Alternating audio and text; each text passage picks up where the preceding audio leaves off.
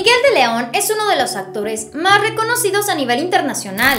Él ha tenido numerosos papeles en exitosos melodramas y producciones a lo largo de su carrera.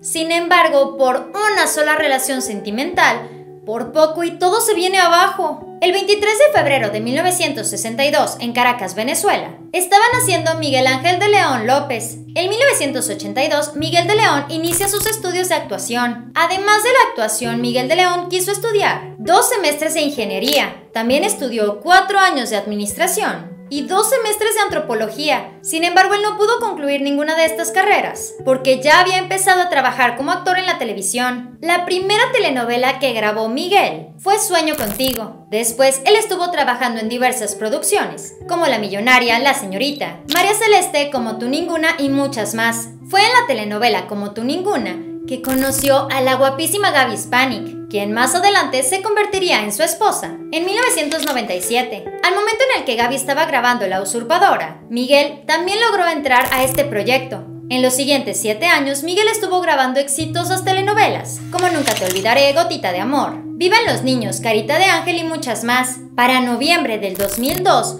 todo el mundo se queda con la boca abierta cuando Miguel anuncia su separación de Gaby. En el año 2003, esta pareja queda definitivamente divorciada. Antes de firmar el divorcio, ya empezaban a surgir los rumores de que Gaby Spanik le había puesto el cuerno. Allá del 2002, en esa época se rumoró bastante que su separación se debió a que la venezolana tenía un amorío con José Ángel Llamas. Cuando le preguntaban acerca de esos rumores, Miguel de León, como todo un caballero, siempre lo negaba. Lo triste de esto fue que al poco tiempo se supo que todo era cierto. Gaby sí tenía una relación con José Ángel, según fuentes muy cercanas a Miguel de León. El actor se encontraba perdidamente enamorado de Gaby. En varias ocasiones, Miguel afirmó que quería formar una familia con Gaby y tener muchos hijos con ella. Tristemente en su relación se metió José Ángel y acabó con el amor que la actriz sentía por Miguel. Esto hizo que el actor tuviese una enorme y profunda tristeza. De hecho, él estuvo algún tiempo totalmente inactivo de la televisión precisamente por esta ruptura.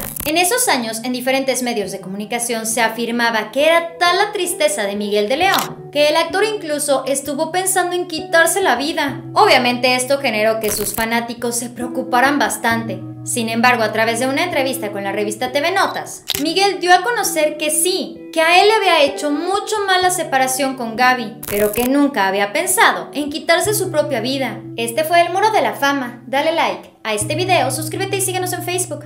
Pero antes de que te vayas, chécate este video. Estoy segura que te va a encantar. Espero que tengas un excelente día. Nos vemos muy pronto. Bye.